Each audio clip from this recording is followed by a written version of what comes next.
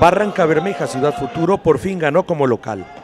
El técnico Jaime Cuervo se mostró satisfecho por el resultado favorable. Yo creo que un primer tiempo muy bueno, dinámico, con bastantes de gol. El segundo tiempo eh, se retoma la nómina porque físicamente todavía nos falta mucho para que un nivel físico ideal. Camilo Gómez anotó dos goles y también expresó su satisfacción por este triunfo. Eh, se suman los primeros dos puntos de local y es importante para la confianza del grupo. Ya nos vamos viendo más sueltos físicamente dentro del campo y contento, feliz de, de las dos anotaciones y del triunfo del equipo. El portero barranqueño Eduard Mantilla fue otra de las figuras de la cancha impidiendo que le anotaran un gol.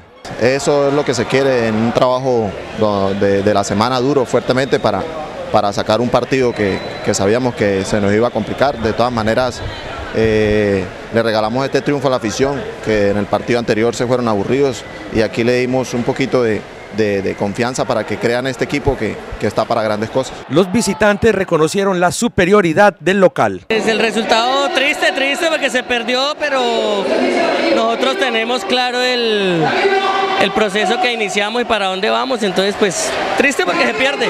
Pues desafortunadamente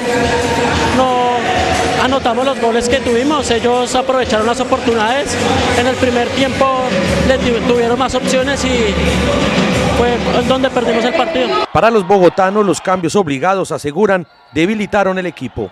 No, yo creo que le hace falta el equipo de experiencia, entró asustado, entró nervioso. A un equipo como Barranca, con jugadores de tanta trayectoria, no se le puede dar ventajas. Nos cobraron todas las que tuvieron, en el segundo tiempo se relajaron y, y nosotros pudimos coger un poquito más de confianza. Barranca Bermeja, Ciudad Futuro, un equipo que cada día muestra más jerarquías.